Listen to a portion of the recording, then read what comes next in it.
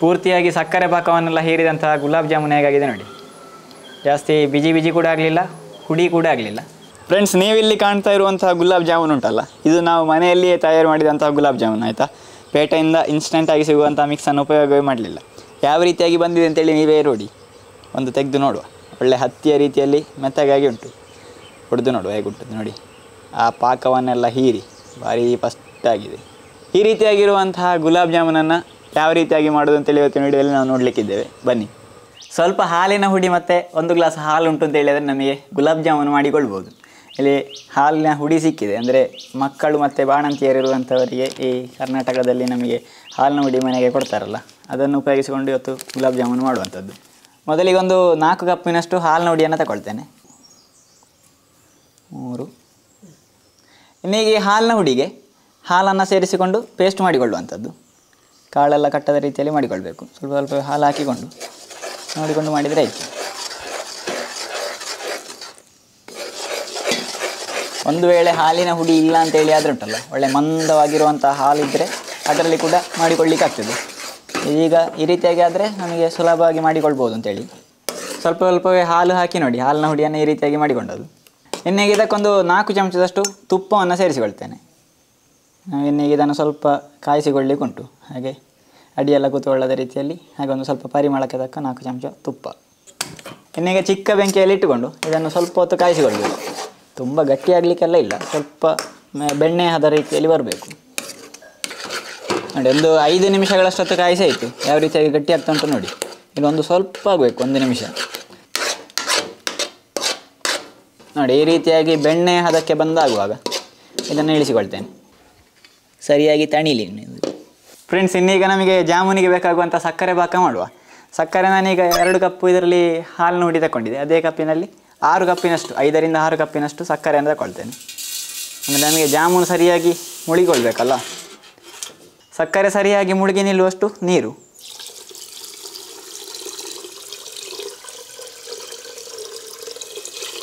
ಜಾಮೂನಿನ ಉಂಡೆ ಎಲ್ಲ ಮಾಡಿದ ಮೇಲೆ ಸಕ್ಕರೆ ಪಾಕದಲ್ಲಿ ಹಾಕ್ತೇವಲ್ಲ? ಸಕ್ಕರೆ ಪಾಕದಲ್ಲಿ ಸರಿಯಾಗಿ ಮುಳುಗಿ ನಿಲ್ಲುವಷ್ಟು ಸಕ್ಕರೆ ಪಾಕ ಬೇಕು ನಮಗೆ.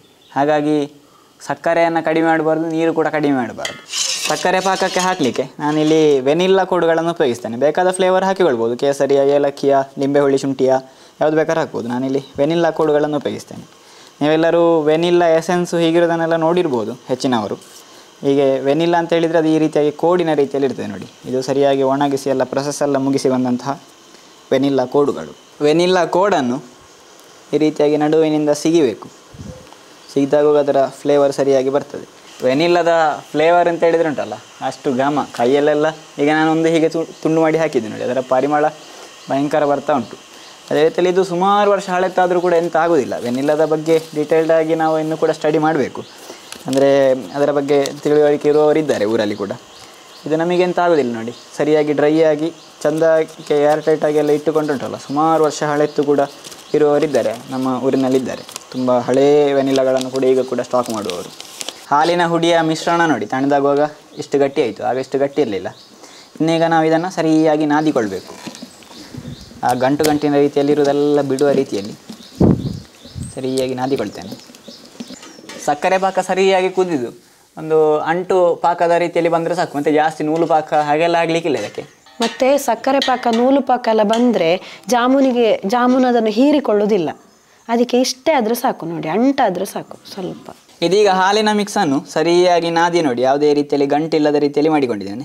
ಇನ್ನೀಗ ಇದಕ್ಕೆ ನಾವು ಮೈದಾವನ್ನು ಸೇರಿಸಲಿಕ್ಕೆ ಉಂಟು. ಮೈದಾ ಅಥವಾ ಗೋಧಿ ಹುಡಿ, ಚೆನ್ನಾಗಿ ಗಾಳಿಸಿಕೊಂಡೇ ಸೇರಿಸಿಕೊಳ್ಳೋದು ಈಗ ಎರಡು ಕಪ್ಪಿನಷ್ಟು ಮೈದಾವನ್ನು ತಗೊಳ್ತೇವೆ ಇಲ್ಲಿ. ಯಾಕೆಂತ ಹೇಳಿದರೆ ಎರಡು ಕಪ್ಪಿನ ನಾಲ್ಕು ಕಪ್ಪಿನಷ್ಟು ಹಾಲಿನ ಹುಡಿ, ಅದನ್ನು ಸರಿಯಾಗಿ ಕಾಯಿಸಿ ಈಗ ಗಟ್ಟಿ ಮಾಡಿ ಆಗುವಾಗ. ಅದು ಎರಡು ಕಪ್ಪಿನಷ್ಟು ಆಯಿತು. ಅಷ್ಟೇ ಪ್ರಮಾಣದಲ್ಲಿ ಮೈದಾ ಹುಡಿಯನ್ನು ಸೇರಿಸಿಕೊಳ್ಳೋದು. ಮೈದಾ ಹುಡಿ ಆಗೋದಿಲ್ಲ ಅಂತ ಹೇಳಿ ಆದರೆ ಗೋಧಿ ಹುಡಿಯನ್ನು ಕೂಡ ಮಾಡಿಕೊಳ್ಬೋದು. ಆದರೆ ಮೈದಾ ಹುಡಿಯಲ್ಲಿ ಸ್ವಲ್ಪ ಫಿನಿಶಿಂಗ್ ಜಾಸ್ತಿ ಇರ್ತದೆ. ಇನ್ನೀಗ ಇದೇ ಮೈದಾ ಹುಡಿಗೆ ಸ್ವಲ್ಪ ಒಂದು ಅರ್ಧ ಸ್ಪೂನಿನಷ್ಟು, ಅರ್ಧ ಟೀ ಸ್ಪೂನಿನಷ್ಟು ಸೋಡಾ ಹುಡಿಯನ್ನು ಸೇರಿಸಿಕೊಳ್ಳೋದು. ಇದಕ್ಕೆ ಸೋಡಾ ಹುಡಿಯನ್ನು ಸ್ವಲ್ಪ ಸೇರಿಸೋದು ತುಂಬ ಅಗತ್ಯ ಉಂಟು. ಯಾಕೆಂತ ಹೇಳಿದರೆ ಸೋಡಾ ಹುಡಿ ಸೇರಿಸದಿದ್ದರೆ ನಮಗೆ ಗುಲಾಬ್ ಜಾಮೂನು ಗಟ್ಟಿಯಾಗಿ ಬಂದಿತ್ತು ಸೋಡಾ ಹುಡಿ ಸೇರಿಸೋದ್ರಿಂದ ಸಾಫ್ಟ್ನೆಸ್ ಬರ್ತದೆ ಅಂತ ಹೇಳುವಂಥದ್ದು. ಸೋಡಾ ಹುಡಿ ಮತ್ತು ಮೈದಾ ಹುಡಿಯನ್ನು ಒಟ್ಟಿಗೆ ಗಾಳಿಸೋದು ಯಾಕೆ ಅಂತ ಹೇಳಿದರೆ ನಾವು ಉಂಡೆ ಎಲ್ಲ ಮಾಡಿದ ಮೇಲೆ ಎಣ್ಣೆಯಲ್ಲಿ ಬಿಡ್ತೇವಲ್ಲ, ಆ ಸಂದರ್ಭದಲ್ಲಿ ಎಣ್ಣೆಯಲ್ಲಿ ಒಡೆಯುವಂಥ ಚಾನ್ಸಸ್ ಇರ್ತದೆ ಹಾಗೆ ಹಾಕಿದರೆ. ಅದಕ್ಕೋಸ್ಕರ ಸರಿಯಾಗಿ ಗಾಳಿಸಿ ಸೇರಿಸಿಕೊಂಡ್ರೆ ಧೈರ್ಯ ಆಯಿತು. ಮೈದಾ ಮತ್ತು ಹಾಲಿನ ಮಿಕ್ಸ್ ಚೆನ್ನಾಗಿ ಮಿಕ್ಸ್ ಆಗಿಕೊಳ್ಬೇಕು, ಅಂದರೆ ಸರಿಯಾಗಿ ನಾದಿಕೊಳ್ಬೇಕು. ಇದು ಎಷ್ಟು ಗಟ್ಟಿಯಲ್ಲ ನಮಗೆ ಹಿಟ್ಟು ಅದಕ್ಕಿನ್ನೂ ಸ್ವಲ್ಪ ಹಾಲೆಲ್ಲ ಸೇರಿಸಿಕೊಳ್ಳಿಕ್ಕೆ ಉಂಟು. ಚಪಾತಿ ಹಿಟ್ಟಿನ ಹದಕ್ಕಿಂತಲೂ ಮೆತ್ತಗಿರುವಂತಹ ಹಿಟ್ಟಿನ ಹದಕ್ಕೆ ಬರಬೇಕಿದೀಗ, ಸರಿಯಾಗಿ ಬೆರೆಸಿ.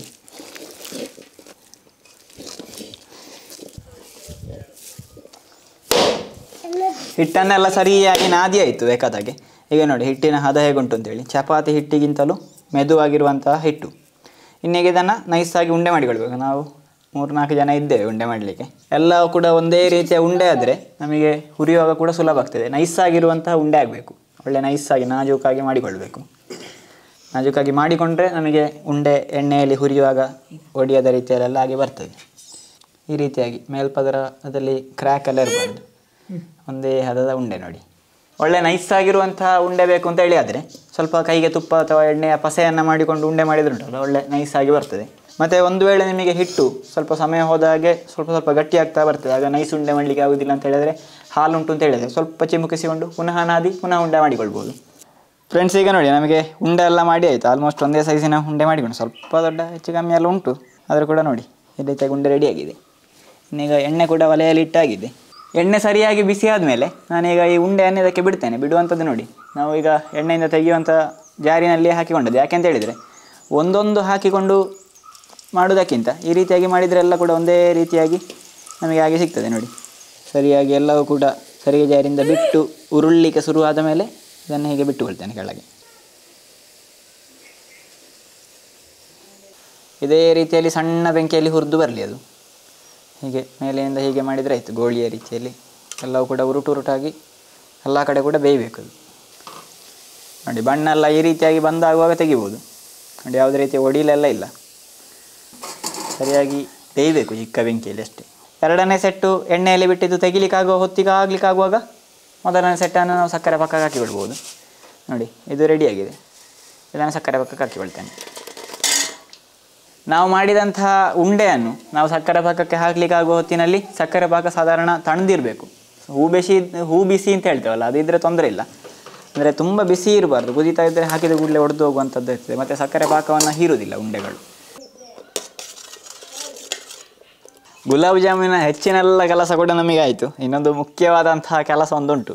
ತಿನ್ನೋದೊಂದು ಬಾಕಿ ಉಂಟು. ಅದಕ್ಕೆ ಮಾತ್ರ ಕಾಯಲೇಬೇಕು. ಒಂದು ನಾಲ್ಕರಿಂದ ಐದು ಗಂಟೆಗಳಷ್ಟೊತ್ತು ಇದು ಸಕ್ಕರೆ ಪಾಕವನ್ನು ಹೀರಲಿಕ್ಕೆ ಬಿಡಬೇಕು. ಆಗ ಸರಿಯಾಗಿ ಹೀರಿದಂಥ ಜೇನಿನ ರೀತಿಯಲ್ಲಿ ಆಗಿ ಈ ಗುಲಾಬ್ ಜಾಮೂನ್ ರೆಡಿ ಆಗ್ತದೆ. ಹಾಗೆ ಅದನ್ನು ಮುಚ್ಚಿರ್ತೇನೆ ಒಂದು ಐದು ಗಂಟೆ ಕಳೆದು ನೋಡುವ ಹೇಗಾಗಿದೆ ಅಂತ. ಬೆಳಿಗ್ಗಿನ ಹೊತ್ತಿನಲ್ಲಿ ಗುಲಾಬ್ ಜಾಮೂನು ಮಾಡಿಟ್ಟದು. ಇದೀಗ ಸರಿಯಾಗಿ ಸಂಜೆ ಹೊತ್ತಿನ ಒಂದು ನಾಲ್ಕೈದು ಗಂಟೆಗಳಷ್ಟೊತ್ತು ಬಿಟ್ಟಾಗುವಾಗ ನೋಡಿ, ಪಾಕ ಎಲ್ಲ ಹೀರಿ ಪರ್ಫೆಕ್ಟಾಗಿ ಬಂದಿದೆ. ಪೂರ್ತಿಯಾಗಿ ಸಕ್ಕರೆ ಪಾಕವನ್ನೆಲ್ಲ ಹೀರಿದಂತಹ ಗುಲಾಬ್ ಜಾಮೂನ್ ಹೇಗಾಗಿದೆ ನೋಡಿ. ಜಾಸ್ತಿ ಬಿಜಿ ಬಿಜಿ ಕೂಡ ಆಗಲಿಲ್ಲ, ಹುಡಿ ಕೂಡ ಆಗಲಿಲ್ಲ. ಇನ್ನು ಕೂಡ ಸ್ವಲ್ಪ ಹೊತ್ತು ಇಟ್ಟರೆ ಇನ್ನೂ ಕೂಡ ಸಕ್ಕರೆ ಪಾಕವನ್ನು ಹೀರಿಕೊಳ್ತದೆ ಅದು. ಈಗ ಹೇಗೆ ತಿನ್ಬೋದು ನೋಡಿ. ಪರ್ಫೆಕ್ಟಾಗಿ ಬಂದಿದೆ. ಹ್ಞೂ ಭಾರಿ ಒಳ್ಳೆಯದಾಗಿದೆ ಆ ವೆನಿಲ್ಲದ ಫ್ಲೇವರ್ ಎಲ್ಲ ಸರಿಯಾಗಿ ಸಿಗ್ತಾ ಉಂಟು. ಹಾಗೆ ಫ್ರೆಂಡ್ಸ್ ಮನೆಯಲ್ಲಿಯೇ ತಯಾರು ಮಾಡಿ ಮಾಡಿರುವಂಥ ಈ ಗುಲಾಬ್ ಜಾಮೂನ್ ರೆಸಿಪಿ ನಿಮಗೆಲ್ಲರಿಗೂ ಖುಷಿ ಆಯಿತು ಅಂತೇಳಿ ಭಾವಿಸ್ತೇನೆ. ಹಾಗೆ ಖುಷಿಯಾಗಿದ್ದರೆ ಲೈಕ್ ಮಾಡಿ ಶೇರ್ ಮಾಡಿ. ಹಾಗೆ ಬಟ್ಟೆನ್ ಬಟ್ ಚಾನಲ್ ನೀವು ಹೊಸೊಬ್ಬರಾಗಿದ್ದರೆ ಖಂಡಿತವಾಗಿ ನಮ್ಮ ಚಾನಲ್ನ ಸಬ್ಸ್ಕ್ರೈಬ್ ಮಾಡಿ ಸಪೋರ್ಟ್ ಮಾಡಲಿಕ್ಕೆ ಮರಿಬೇಡಿ. ಮುಂದಿನ ವಿಡಿಯೋದಲ್ಲಿ ಸಿಗುವ ನಮಸ್ಕಾರ.